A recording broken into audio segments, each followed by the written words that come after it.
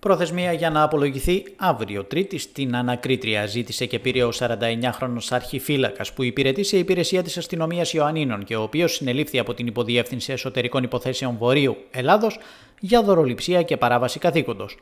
Όπως ανακοινώθηκε, στο πλαίσιο διερεύνησης σχετικής καταγγελίας, ο αρχιφύλακας συνελήφθη σε περιοχή των Ιωαννίνων να έχει στην κατοχή του ένα αλβανικό διαβατήριο, η γνησιότητα του οποίου διερευνάται με τα στοιχεία 49χρονη υπηκόου Αλβανίας, το οποίο είχε παραλάβει από 44χρονο υπάλληλο του αερολιμένα Ιωαννίνων, για να σφραγίσει την έξοδό της από τη χώρα, απουσία αυτής και έναντι χρηματικής αμοιβής.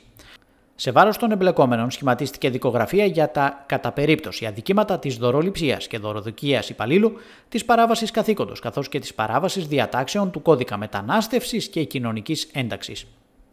Όπως προκύπτει πάντως από το λιτό δελτίο τύπου που εκδόθηκε από τη Διεύθυνση Αστυνομίας, η υπόθεση δεν δείχνει να είναι σοβαρά δεμένη, κάτι που δημιουργεί, αν μη τι άλλο, έντονο προβληματισμό. Ο προβληματισμός αυτός γίνεται ακόμη μεγαλύτερος από το γεγονός που δεν μπορεί κανείς να παραγνωρίσει ότι σχεδόν καμία από τις υποθέσεις στι οποίες είναι πλάκη η Διεύθυνση Εσωτερικών Υποθέσεων τα τελευταία χρόνια στην Ήπειρο και στα Ιωάννινα ειδικότερα δεν έφτασε μέχρι το τέλος και κυρίως δεν οδήγησε σε καταδικαστικές αποφάσεις τους επίορκους αστυνομικούς. Ενώ είναι εξαιρετικά σημαντικό οποιαδήποτε υπόθεση διαφθοράς να αποκαλύπτεται και να δημοσιοποιείται, δυστυχώς σε μια αλληλουχία γεγονότων και περιπτώσεων αποδείχθηκε ότι η αρχική έμφαση στα γεγονότα δεν συνοδεύονταν και από τα ανάλογα στοιχεία. Η Διεύθυνση Εσωτερικών Υποθέσεων της Ελλάς Πάντως, είναι αρμόδια για τη διερεύνηση, εξυχνίαση και δίωξη υποθέσεων διαφθοράς στον χώρο της ελληνικής αστυνομίας όσο και στον ευρύτερο δημόσιο τομέα.